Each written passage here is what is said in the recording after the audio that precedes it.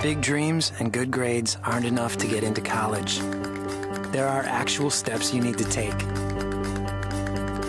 Finding someone who can help is the first and most important.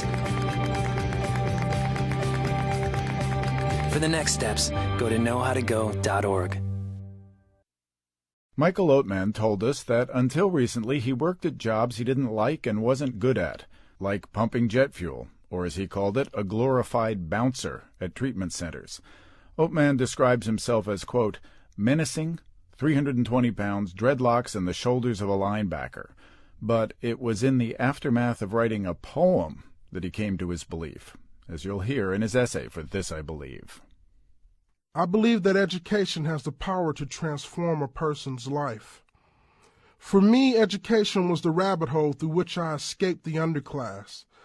I squeezed my 300 pound frame through that hole, expecting others to follow, and instead I find myself in a strange new land, mostly alone, and wondering at this new life.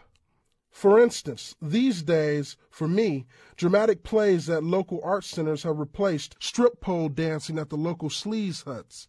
I haven't fondled a stripper in years, because now I see the stripper through eyes informed by feminist theory.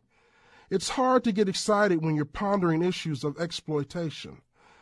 I still wonder what happened to that happy go lucky semi thug that used to hang out with drug dealers on dimly lit street corners.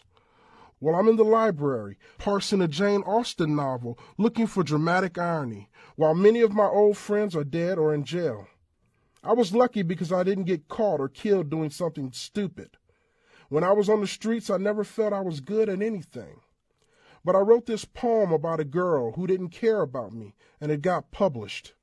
I knew nothing about grammar or syntax, so I went back to school to learn that stuff, and one thing led to another. It's odd to educate oneself away from one's past. As an African American male, I now find myself in a foreign world. Like steam off of a concrete sidewalk, I can feel my street cred evaporating away, but I don't fight it anymore. Letting go of the survival tools I needed on the street was a necessary transaction for admittance to a better life. I am still fighting, but in different ways. I've learned the benefit of research and reading, of debate and listening. My new battlefields are affirmative action, illegal immigration, and institutional racism. I believe I am the living embodiment of the power of education to change a man. One day soon, a crop of fresh faced college students will call me professor. I may even be the only black face in the room, the only representative of the underclass. I may feel the slight sting of isolation, but I'll fight it off because I believe in the changes that my education has allowed me to make.